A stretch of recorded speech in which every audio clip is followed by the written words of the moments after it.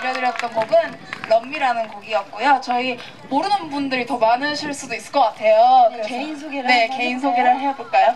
네, 안녕하세요. 저는 멜로디데이의 매운 보컬 여은입니다. 반갑습니다. 와! 네, 안녕하세요. 멜로디데이 막내 차희예요. 반가워요.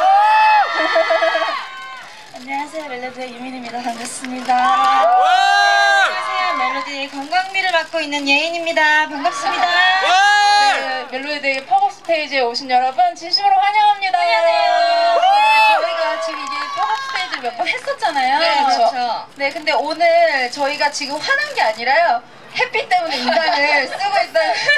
네, 너무 눈부셔요. 네. 조명이 없었는데 이렇게 그러니까요. 햇빛이 저희 조명이 되었어요. 네, 오늘 네, 여러분들이 약간 주인공 같은 느낌. 네, 그러니까요.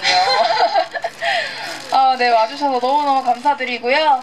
저희 이제 다음 곡으로는 저희가 Kiss on the Lips로 지금 활동하고 있는데 먼저 선공개했던 바빠보여라는 곡 들려드리겠습니다. 와!